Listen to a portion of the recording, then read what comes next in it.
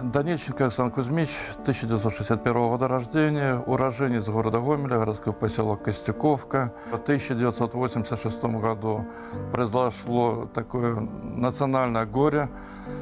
Это авария Чернобыльской АЭС в апреле месяце. В то же время я постоянно посещал родителей, видел непосредственно, какая обстановка была в городе Гомеле, окрестностях, потому что был курсантом и приезжал сюда на увольнение.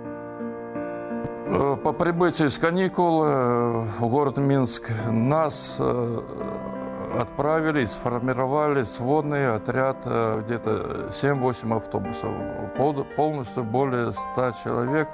И направили в деревню Бабщина, Хоницкий район Гомельской области для службы и поддержания охраны общественного порядка. Одна зона отселения, вот непосредственно мы, которые прикрывали. Вторая была отчуждение, которая стояла уже колючая проволока, и по периметру работали войска, внутренние войска.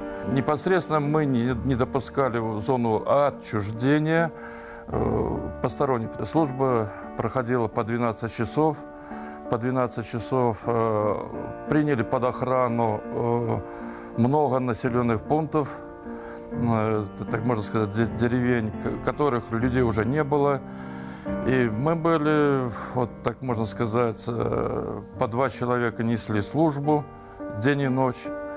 Ну, посменно, конечно. И в то же время смотрели, не допускали мародеров, стояли на контрольно-пропускных пунктах и добросовестно, как э, курсанту положено, несли службу.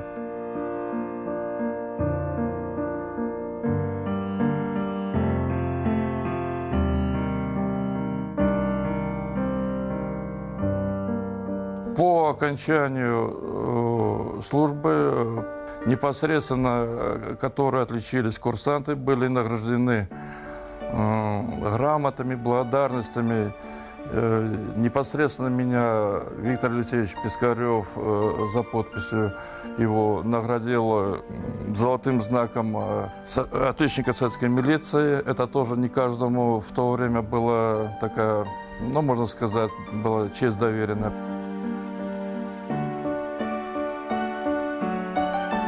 Со своей стороны хочу пожелать всем семьям, чернобыльцам, все, которые меня лично знают, те, с которыми проходил службу в разных подразделениях. Хочу поблагодарить их э, семьи и пожелать здоровья, счастья